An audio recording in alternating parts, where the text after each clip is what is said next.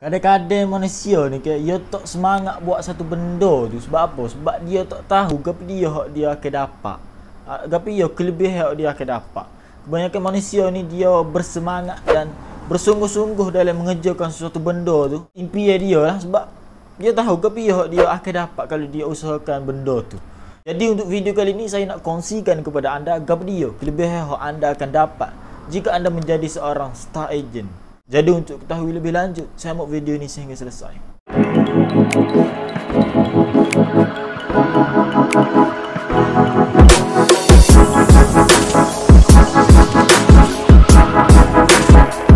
Yo, good morning DSN. Welcome back to Pecah Minda Channel. Jadi kepada anda yang baru saja sampai di Pecah Minda Channel ni, nama saya Afna Rafiq.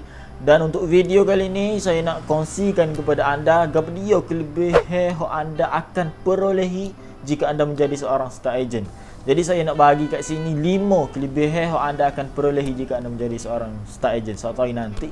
Dan kepada anda yang belum lagi capai star agent, cepat-cepatlah capai star agent sebab benda ni insya-Allah akan beri semangat kepada anda untuk lebih bersemangat dan lebih cepat lagi capai pangkat star agent. Star agent ni merupakan pangkat pertama dalam DSN dan paling rendah sekali. Jadi cepat-cepatlah capai. Sebabnya star agent ni walaupun dia pangkat pertama, walaupun pangkat paling rendah dalam DSN, perlu anda ingat banyak kelebihan yang anda akan dapat. Untuk video kali ini saya nak bagi 5 saja kelebihan yang anda akan perolehi jika anda menjadi seorang star agent. Okey, kelebihan yang pertama yang anda akan perolehi jika anda menjadi seorang star agent adalah anda tidak akan jatuh pangkat. Contohnya, bila anda dah jadi dah star agent, anda tak jatuh pangkat. Contohnya, anda dah jadi star ruby ke star diamond, contohnya anda dah jadi star ruby. Anda tak jatuh pangkat kepada star, uh, star agent balik Contohnya anda dah jadi SA. Anda tak jatuh sama sekali kepada ahli biasa balik. Ha, sebab apa benda tu kalau ter, kalau benda tu terjadi dekat mana-mana syarikat nauzubillah min zalik sangat-sangat mengerikan bagi saya. Tapi dalam DSN anda tak perlu bimbang eh. Ha, dalam DSN ni kita tak ada lah sezoling tu. Syarikat lain kita tak usah komen, kita nak fokus pada DSN saja.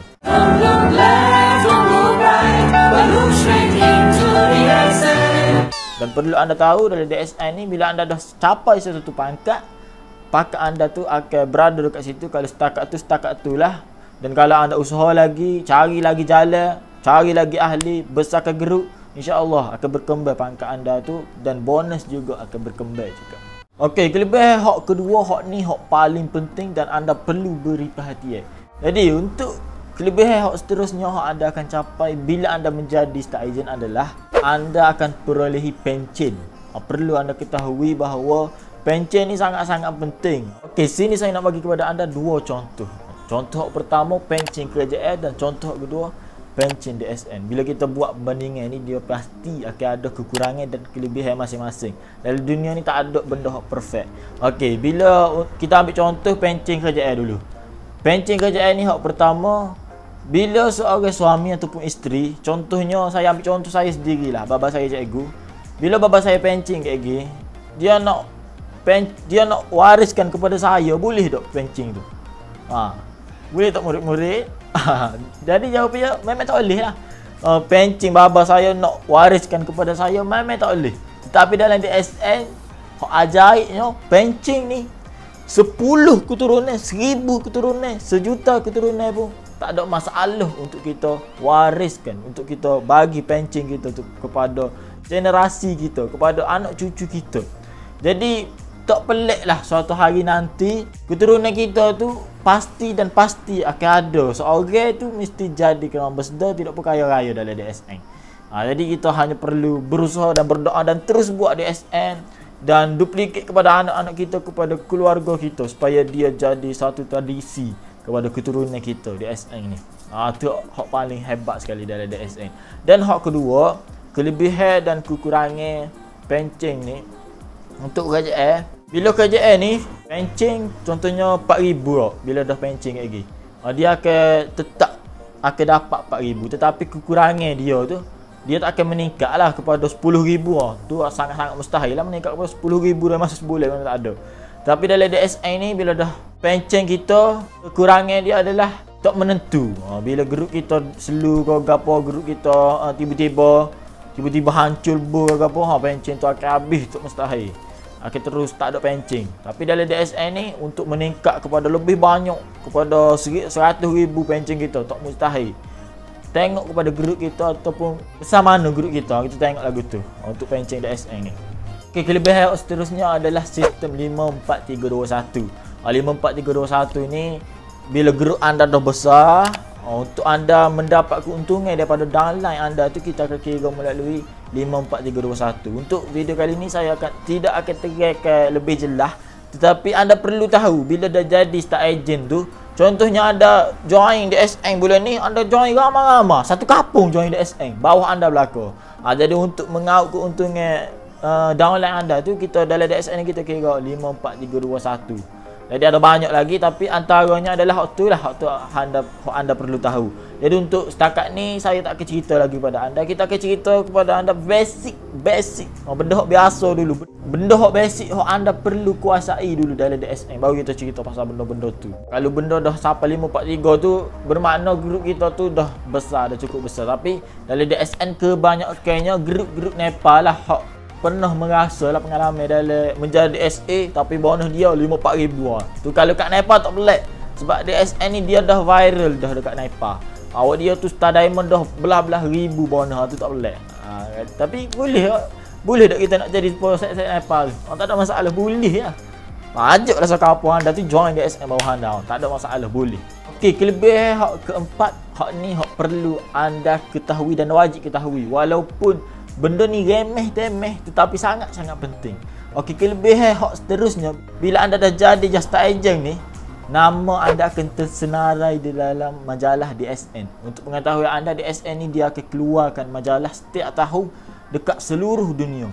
Dan anda bayar ke dalam majalah tu buku surat dekat pencapaian tu dekat pangkat-pangkat tu ha, nama anda tersenarai dalam DSN ni dalam majalah dia setakat ni hak saya tahulah dia dalam majalah tu dia akan cerita beberapa kisah kejayaan untuk tahun lepas. Beberapa produk baru kau apa dia akan cerita belaka lah dalam majalah tu. Dan juga dia akan letak nama-nama orang hok sepatutnya berada dalam tu. Antaranya adalah orang hok mendapat pangkat hok pertama dalam DSN iaitu star agent ataupun pangkat-pangkat terbaru hok dia dapat. Dalam DSN bila anda dah jadi star agent ah bayangkan pangkat pertama pangkat paling rendah lah tu, tu kira dalam DSN tu ha, anda dah capai dah uh, boleh dah nama ada dalam majalah. Ha. dan bila nama anda dah ada dalam majalah ni ini adalah satu bukti awal lah kepada anda. Jadi dapatkan uh, no, uh, novel dah. Dapatkan majalah tu untuk menjadi bukti awal kepada anda. Oh, cerita kat orang. Ni kat kalau pasal DSN kat tak si cerita. Benda lain laju cerita. Cerita kat orang nama saya ada dalam majalah ni. Baru jadi star uh, star agent. Pangkat pertama lagi kau dalam DSN tapi DSN menghargai kita. Okay, ini adalah majalah hot saya royak tu. Ha. majalah hot Malaysia punya. Jadi kalau kita tengok sini kalau double diamond star diamond ke atas ya akan ada gambar kita sini. Ni hot Malaysia. Di Malaysia di seluruh Malaysia ada dah orang Johor, orang Pulau Pinang, orang Kuala Lumpur, orang Kedah, orang Selangor. Dan tu Star Ruby kat atas aku dan ni adalah Star Agent yang saya sebut tu. Ha, kalau Star Agent dia akan ada nama saja. Ni adalah Star Agent di Malaysia, di seluruh Malaysia. Star Agent memang ramah. Kat lima muka surat ada Star Agent saja. Okey, kelebihan hak terakhir, hak kelima, hak perlu anda tahu adalah anda layak untuk join pengiraan melancong. Ha, untuk pengetahuan anda di SN ni setiap tahun dia akan mengadakan NTSI. Ha, NTSI ni melancong ke luar negara. Jadi setiap tahun di SN akan buat dan untuk kita pergi melancong ni bukan senang kita nak pergi. Orang yang dapat pergi melancong ni adalah antara orang-orang hebat di dalam dunia di SN satu dunia ni. Dari dalam DSN ni untuk pergi melancong untuk anda layak melancong anda perlu ikut gapio hok.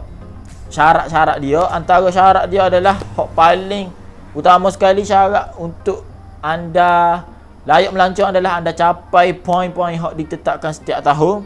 Contohnya tahun lepas tahun ni kita dapat pergi ke Danang tapi poin dia dikira tahun lepas. Tahun lepas DSN meletakkan untuk orang tahun-tahun lepas nak pergi melancong ke Danang tahun ni perlu capai PV setahun selama setahun kalau tak silap saya 193 PV.